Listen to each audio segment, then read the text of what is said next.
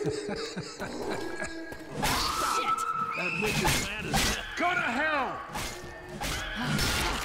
Go to hell!